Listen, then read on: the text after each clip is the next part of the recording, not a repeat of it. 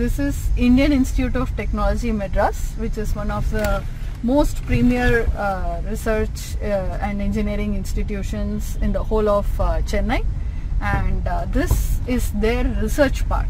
Uh, that is their park which is meant for their alumni to uh, have their startup offices and all those uh, kinds of things. So it is full of the best startups in India are having their offices here. GBCI doing meeting here. Ah, and Green, US Green Building Council has a small office and they are having a meeting in here today. Who is coming? Uh, today for the meeting we are having uh, the uh, head of uh, GBCI for Asia Pacific, Mr. Gopalan, and joining him are uh, Mr. Santanu, who will be the uh, who is the marketing uh, director for uh, Bangladesh, Vietnam, and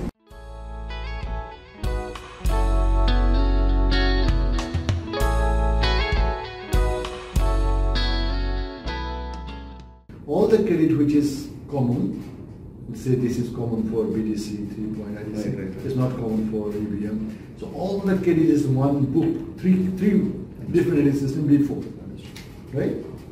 It's all here. And there's all the Bangladesh benefits is here actually.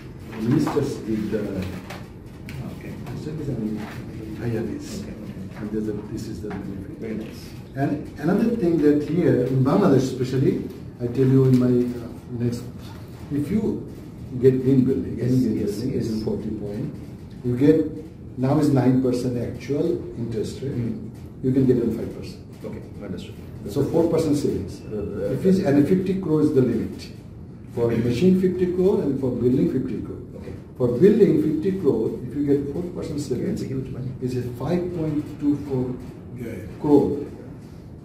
That's 20, 24 lakh. 5 crore 24 lakh taka savings. Right. How much is the cost? 10 right. lakhs. And the easiest way, Dr. Ananta, that we have seen this is when a senior person like you uh, collaborates with the university and the university is able to pick up a campus subscription whereby yes. all students and faculty can access all the content online. You are going as a head. So you will create that hybrid model and that is the easiest model by which we can ramp up the numbers. At the same time, it will be financially attractive to you also. But the same is not going to suck up all your energy because students are going to go online. And today, I think this generation, they are happy with online, they're able to figure it. The second is, uh, I'm tying back to membership, what he said. Uh, one of the things I, I, was, I was asking Santanu is membership in Bangladesh is very, very low. Very low. Only five of them. Exactly. Now, membership more from the perspective of, I'm not saying every employee of the organization. No, no, but the organization don't even know why they have to be member. Nobody even told them. Exactly. So I didn't even told them. Yeah, exactly. See, see, I'll tell you again. So that's where we are talking to you, not Yeah. not talking to every consultant. Now, if I talk to some other consultant, uh, you know, they see everybody wants to be very protective of the business. If I make my client a member, know more than me. they will know more than me. But I think you you come from a perspective where you're transparent. So the more they know, it's easier for you to work. Yes, yes. So at least the specialist team can come to know, right? So both from the student community and from the working professionals, I think you have a huge opportunity there. And I think given the growth, I think I was taken aback. Uh, you know, again, Bangladesh, what what we saw, uh, as, as I told you last time also, I have been coming to Bangladesh even before I joined USGBC, right? I have seen a huge, huge transformation, right? That is 2002 was my first visit to Dhaka. And if I compare what I saw, let's say, two years back, it's a, and, and it's continuing to transform. The point is, I think here is a great example of a country which has completely reinvented itself. Right? I mean, you know, say take the interview, whatever it is. I think whatever the country is now doing, it seems to be very focused. I don't think I've seen any country, including India, where these things are taken so seriously.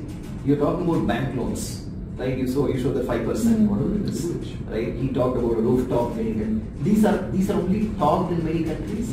It does not come as a legislation Right. or a statute. In in Bangladesh happened. In Bangladesh, And not only that, those five percent now they have a five thousand crore taka Yeah.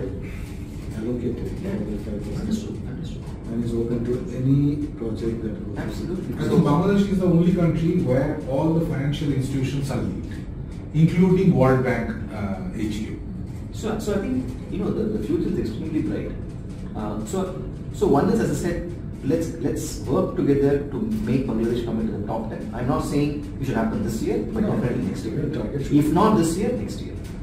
Second thing, education we talked about is also closely linked back to membership because I think once this is done, automatically the country will keep going forward. And I, you know, I only give an example of this: China. The number of LEED professionals in China is higher than the number of LEED professionals in the US. Yes. Right. All the big professionals China. Are China. Even they work somewhere else. Exactly. They're China. They're China. Yeah. But what is it doing to the country? Uh, boom. Right? Even during you know COVID happened, clamped down. They are saying real estate uh, thing is uh, uh, you know having a slide. In spite of it, it's doing extremely well because that's a foundation there. Yeah. But at the same time, so I just went through some data in last one week. The penetration of green in Bangladesh or in India is very high. So what I'm saying is, if let's say the total asset is so and so billion square feet, the percentage of that getting into LEED if I take it, although China's absolute numbers are higher, But total US absolute numbers are higher. Yeah, total Bangladesh and India, astonishingly, Yeah, the, the green buildings are enormous as a percentage. Percentage So let's say per capita, whatever you want to call it. That's a great trend. Exactly. And, and that is what I think he said. I think we want now Bangladesh to also be portrayed to the world.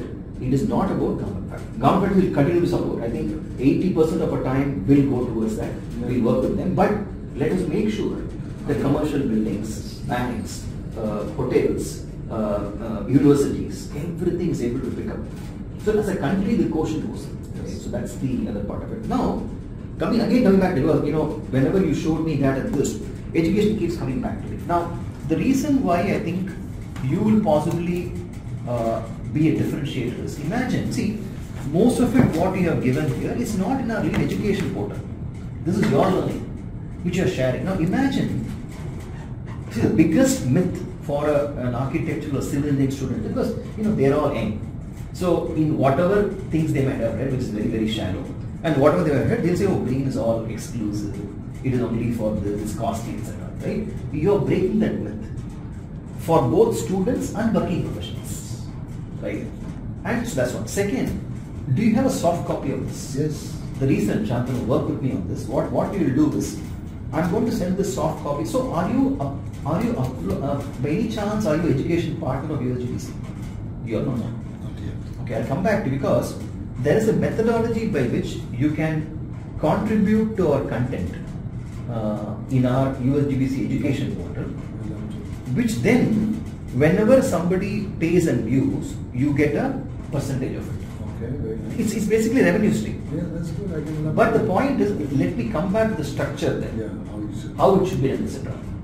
I think education partnership is what? Three thousand dollars. Currently, yeah. I don't want uh, Dr. Ananta to spend that No, money no, no. without seeing what is going to be payout, Yeah, yeah. right? But the, uh, you, you have any comment on that? No. So, but, but I think you're sitting on fantastic information. So, two things. One is definitely, I think next April, you should apply and make sure that we have a session for you. We'll also guide you, etc. Uh, second is how your whatever education thing you have got, how do we share it with the entire world? Because what you have done for Bangladesh is valid for every country. You have, you have broken many myths, right? And Gopal, I also One thing I uh, show although you, the- that you should have a look when you have a time, eight minutes. No, I'm going to take it. No, I'm just going to show you this and say that. Just, this is my YouTube channel. Oh. See the how many hit, how many hours people watch my video. There's 50 plus video there. Okay. In Bengali and English. And So does, does this YouTube video summarize whatever you have written on? Yeah, yeah. That's easy. Cost, cost there too. There. No, uh, Cost what, I, there too. what I was saying that you and me were discussing uh, in Vietnam. Somebody is doing the Vietnam and we should be talking to Anantara to make it in Bengali. Mhm. So Oh, yeah, yeah, we should work on that. Yeah, in the local language. Yeah. No, I think we need to focus on education.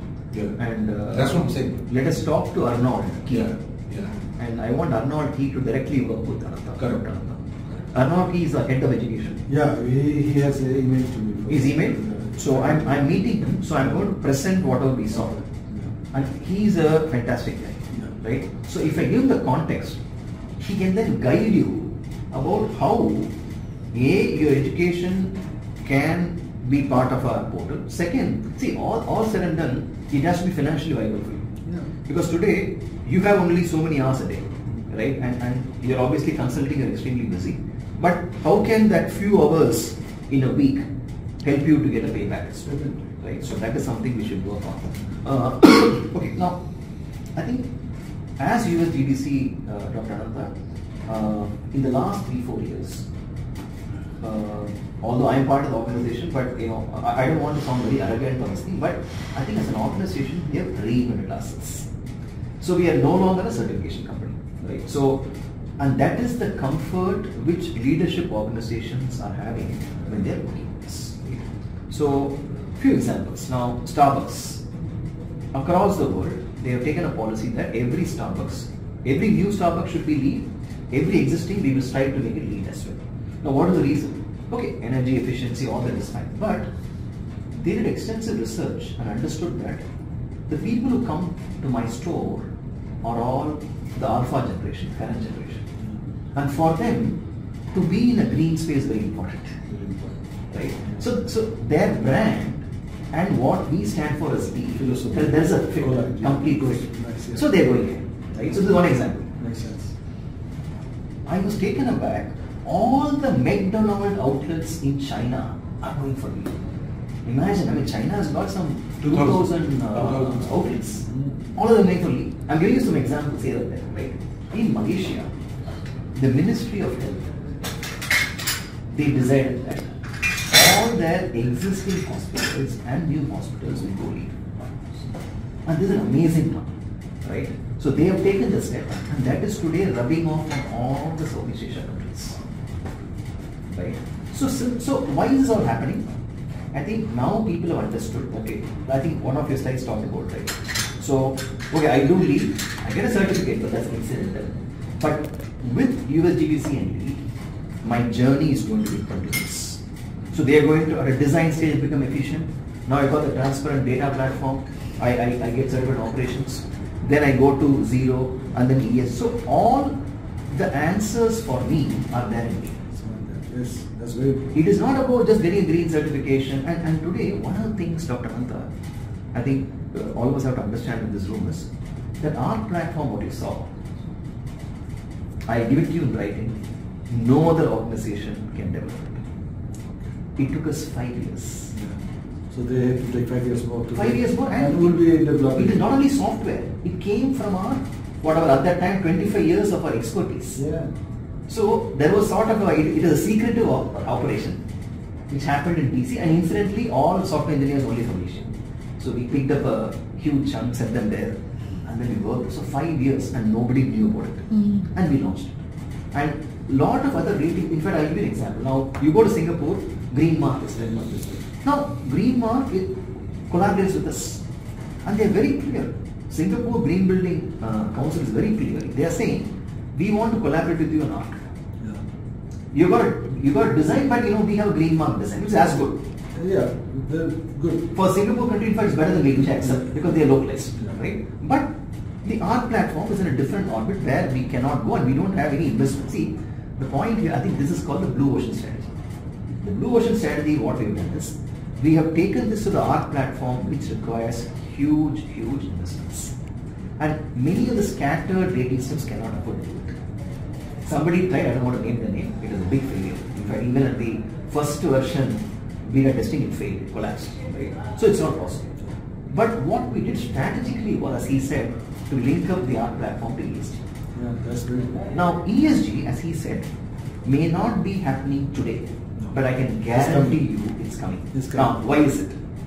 You read any article, any business paper, It's let's, let's talk about the fashion brands. They all say, I want to go to ESG, scope 1, scope 2, which means my entire supply chain. So, which means, at least from a fashion brand perspective, they are fairly clear.